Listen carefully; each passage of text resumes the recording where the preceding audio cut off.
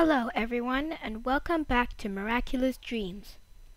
Today I will share my theories on the episode Senti Bubbler. Here is the trailer.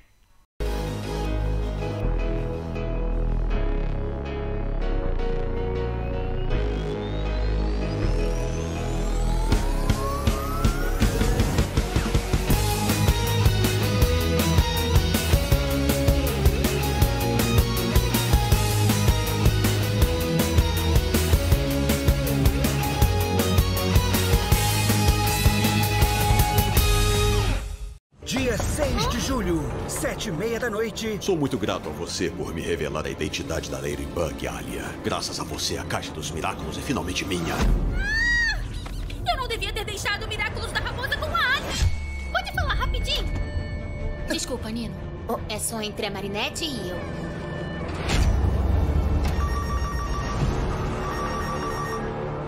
Alô? Rena Rouge, eu sou o Shadow Moth.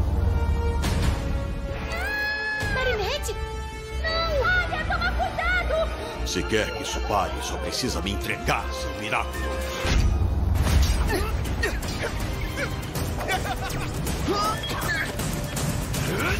Kate Noir, cuidado! Tiki, Talki, combinar. Ladybug? Não! Pega, Bug! And now for the theory. In the night, Marinette has a bad dream. She was dreaming about the bad things that would happen now that Alya has the Fox Miraculous. She goes to Alya's house, forgetting to change clothes, as usual. Marinette takes Alya to her room, but Nino is there and wants to know what's going on. But Alya tells him that it's just between Marinette and Alya. I think this happens often, and Nino is getting tired of the secrets between Marinette and Alya. Just like in Truth and Lies.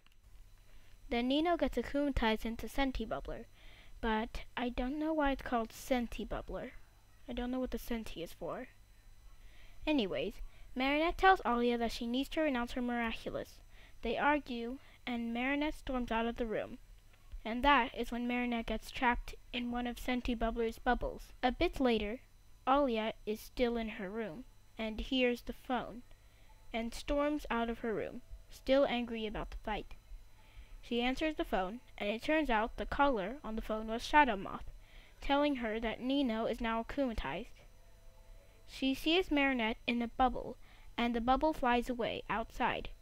And Alya sees that her entire family is captured. Alya transforms into Rena Rouge and makes an illusion of Ladybug to distract Shadow Moth. Marinette transforms into Ladybug and takes out the Horse Miraculous, and she unifies herself with Kaalki to become Pegabug. Now she can teleport out of the bubble. Shadow Moth is still following the illusion Rena Rouge made, leading Shadow Moth to an alleyway. Then Pegabug comes in and takes something that seems to be a coffee cup. I have no idea what it's for and why it's so important.